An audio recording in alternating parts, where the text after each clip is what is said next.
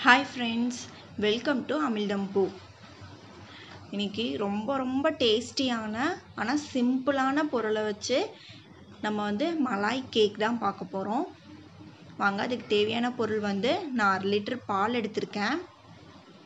இதில் ஒரு கப் கோதுமை மாவு வச்சுருக்கேன். இதில் கால் கப் வந்து சர்க்கரை.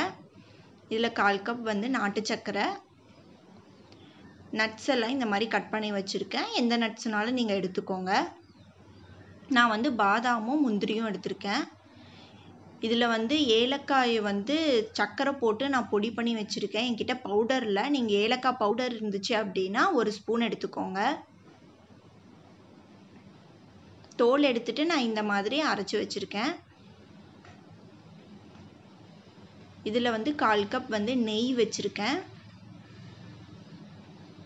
ஒரு ஸ்பூன் பேக்கிங் பவுடர் அரை ஸ்பூன் வந்து பேக்கிங் சோடா. வாங்க இப்போ எப்படி செய்கிறதுன்னு பார்க்கலாம். நான் பாலை அடுப்பில் வச்சுருக்கேன். இது நல்லா கொதிக்கட்டும். பாருங்கள் இப்போ நல்லா கொதிச்சிருச்சு. அப்பப்போ இந்த மாதிரி கலந்து விட்டுக்கோங்க. அப்போ தான் அடி பிடிக்காமல் இருக்கும். இப்போ நம்ம எடுத்து வச்சுருக்க கால் கப் சர்க்கரை சேர்த்துக்கலாம். உங்ககிட்ட ஏலக்காய் பொடி இருந்தால் சேர்த்துக்கோங்க. நான் வந்து சர்க்கரை போட்டு அரைச்சதை ஒரு ஸ்பூன் அளவுக்கு சேர்த்துக்கிறேன். நல்லா கலந்து விட்டுருங்க. இது வந்து நல்லா மிதமான சூட்லேயே வந்து பாதி அளவுக்கு நல்லா வத்தணும் பால். அந்த அளவுக்கு ரெடி பண்ணிக்கலாம். பாருங்கள் நம்ம மலாய் சூப்பராக ரெடி ஆகிடுச்சு பாதி அளவுக்கு வத்திருச்சு பாலும். இப்போ இதை வந்து ஃபுல்லாக ஆற வைக்காமல் மிதமான சூட்டில் இருக்க மாதிரி நம்ம ஆற வச்சுக்கலாம். இப்போ ஒரு மிக்சிங் பவுல் எடுத்திருக்கேன். இதில் நம்ம எடுத்து வச்சுருக்க கால் கப் நெய் சேர்த்துக்கலாம். நெய் இல்லைனா நீங்கள் வெண்ணெய் கூட சேர்த்துக்கோங்க உருக்கி. இதில் வந்து நாட்டு சக்கரை கால் கப் சேர்த்துருக்கேன். இதை கலந்துருங்க. இதில் வந்து அதே மாதிரி ஏலக்காய் பொடி வந்து ஒரு அரை ஸ்பூன் சேர்த்துக்கோங்க. நல்லா கலந்து விட்டுருங்க. நல்லா மிக்ஸ் ஆகணும். பாருங்கள் இந்த அளவுக்கு நல்லா கலந்துக்கோங்க. இப்போ நம்ம மாவு வந்து சளிச்சிடலாம் நான் கோதுமை மாவு ஒரு கப் சேர்க்குறேன். ஒரு ஸ்பூன் வந்து பேக்கிங் பவுடர் அரை ஸ்பூன் பேக்கிங் சோடா எல்லாத்தையும் நல்லா சளிச்சிடலாம் இப்போ இந்த சளிச்ச மாவு எல்லாத்தையுமே வந்து நம்ம கலந்து வச்சுருக்க அந்த சர்க்கரை இது கூட சேர்த்துடலாம். கலந்துக்கோங்க. இப்போ இதில் வந்து நம்ம ரெடி பண்ண மலாய் வந்து மிதமான சூட்டில் ஒரு கப் அளவுக்கு எடுத்திருக்கேன். இதை கொஞ்சம் கொஞ்சமாக சேர்த்தி நம்ம வந்து கலந்துக்கலாம்.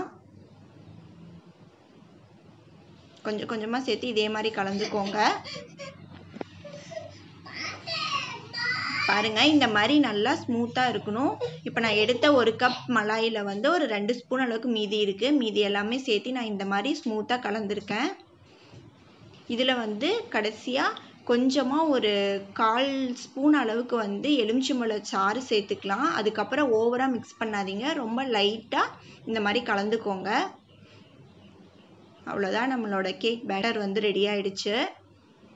இப்போ நான் இந்த பாத்திரத்தில் தான் கேக் பண்ண போகிறேன் இதில் ஆல்ரெடி வெண்ணெய் தடவி கோதுமை மாவு தூவி வச்சுருக்கேன். இதில் நம்ம இதில் சேர்த்துடலாம்.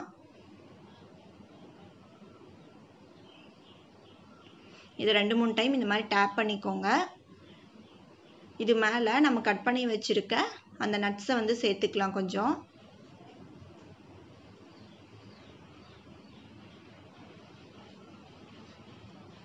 இங்கே குக்கரை ஆல்ரெடி நான் ப்ரீ ஹீட் பண்ணி வச்சுருக்கேன். ஒரு பத்து நிமிஷத்துக்கு முன்னாடியே. இதுக்குள்ளே நம்ம இந்த பாத்திரத்தை வச்சு மூடி வச்சு பேக் பண்ணிடலாம். ஒரு இருபதுலேருந்து இருபத்தஞ்சி நிமிஷம் லோ ஹீட்டில் பேக் ஆகட்டும். பாருங்கள் இப்போ ஒரு இருபது நிமிஷம் தான் ஆச்சு. நம்ம கேக் சூப்பராக ரெடி ஆகிடுச்சு நான் எடுத்து வெளியே வச்சுருக்கேன். இந்த மாதிரி டூத் பிக்கோ இல்லை வேறு ஏதாவது வச்சு இந்த மாதிரி நல்லா குத்தி விட்டுருங்க. எல்லாத்துலேயும் நல்லா ஹோல் போட்டு விட்டுட்டிங்கன்னா நம்ம ரெடி பண்ண மலாய் மீதி இருக்குல்ல அதில் வந்து மேலே அப்படியே வந்து கொஞ்சம் ஊற்றி விட்டுருங்க. நல்லா அது ஊறட்டும். அந்த மலாயில் ஊற வச்சு நம்ம சாப்பிடும் போது ரொம்ப ரொம்ப டேஸ்டியாக இருக்கும் இந்த கேக்கை இது சூடாக இருக்கும்ல அது அப்படியே ஊறிட்டு கொஞ்சம் நல்லா ஃபுல்லாக ஆறட்டும். அதுக்கப்புறம் நம்ம பிளேட்டுக்கு மாற்றிக்கலாம் இப்போ பாருங்கள் நம்ம பிளேட்டுக்கு மாற்றிக்கலாம் நான் கத்தி வச்சு அந்த ஓரங்களை மட்டும் கொஞ்சம் லைட்டாக எடுத்து விட்டுறேன். ஜஸ்ட் இந்த மாதிரி தட்டினீங்கனாவே ஈஸியாக நம்ம கேக் வந்துடும். பாருங்க ரொம்ப சூப்பராக நம்ம கேக் ரெடி ஆகிடுச்சு இப்போ இதை கட் பண்ணிடலாம். பாருங்க எவ்வளோ சூப்பராக இருக்குன்னு சொல்லிட்டு. இதை இப்போ சர்வ் பண்ணலாம் நம்ம. இப்போ சர்வ் பண்ணும் போது இந்த மாதிரி வச்சு நம்ம ரெடி பண்ண மலாயும் மேலே வந்து நல்லா இந்த மாதிரி ஊற்றி கொடுங்க. அது கூட வச்சு சாப்பிடும் போது ரொம்ப டேஸ்டியாக இருக்கும். அந்த சா கட் பண்ணி வச்சுருக்க நட்ஸும் கொஞ்சம் நான் சேர்த்திக்கிறேன். அந்த மலாய் கூட சேர்த்து டேஸ்ட் பண்ணி பாருங்கள் ரொம்ப சிம்பிளான கேக்கு ரொம்ப டேஸ்டியாக இருக்கும் கண்டிப்பாக உங்களுக்கு வேணும்னா நீங்கள் இதை ஃப்ரிட்ஜில் கூட வச்சு சில்லுன்னு கூட வச்சு அந்த மலாய் கூட வச்சு சாப்பிட்லாம். ரொம்ப டேஸ்டியாக இருக்கும். கண்டிப்பாக ட்ரை பண்ணி பாருங்கள் ட்ரை பண்ணி பார்த்துட்டு உங்கள் கமெண்ட்ஸை சொல்லுங்கள் கண்டிப்பாக எப்படி இருக்குன்னு சொல்லிவிட்டு தேங்க்ஸ் ஃபார் வாட்சிங் என் சேனலுக்கு சப்ஸ்கிரைப் பண்ணலன்னா கண்டிப்பாக சப்ஸ்கிரைப் பண்ணிவிடுங்க